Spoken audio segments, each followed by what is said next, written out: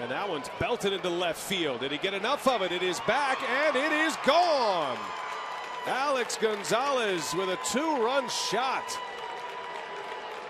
Doing some damage to his old team and the Brewers take the lead here in the second inning. A two-out, two-run homer by Alex Gonzalez. Boy, quick bat through the strike zone. It looked like a a fastball that was trying to cut away, and Gonzalez able to hook it and hit it on the line out of here. Check it out.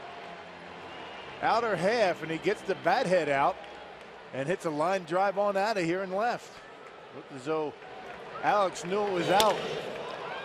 Good short stroke. So with two outs, the Brewers able to